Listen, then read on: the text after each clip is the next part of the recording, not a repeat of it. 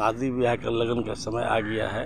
दूल्हा दुल्हन को बरमाला के समय का वर्णन। जोरी सदा सलामत रहे, पहले लड़की लड़के के गले में।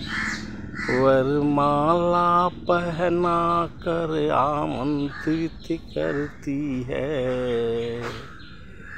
फिर दूल्हे भी अपनी पत्नी को गुलाबों वाली वरमाला पहना कर आलिंगन करता है।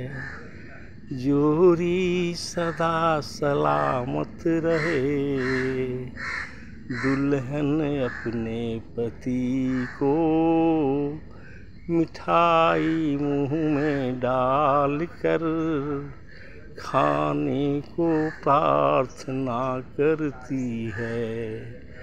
उसी तरह से दूल्हे भी अपनी होने वाली पत्नी को मुँह में मिठाई देकर जीवन भर अटूट बंधन में बंधने की कसमें खाते हैं।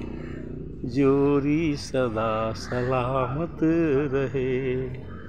फिर दूल्हे दुल्हन की शादी की सारे विधि विधान की शुरुआत होती है। ब्राह्मण के द्वारा सातों वचन निभाने की एक दूसरे कसमें खाते हैं।